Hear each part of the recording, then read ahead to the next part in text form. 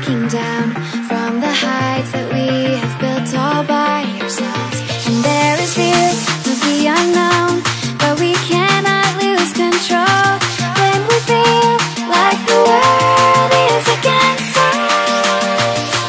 We're trying to find ourselves without the defining words. We can no longer hold on to.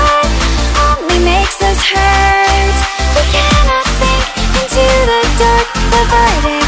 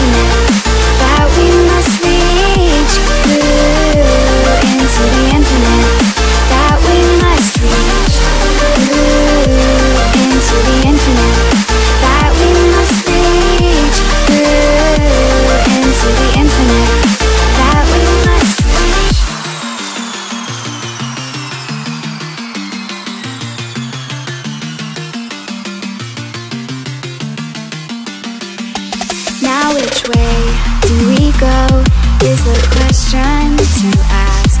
There are so many choices that it's hard not to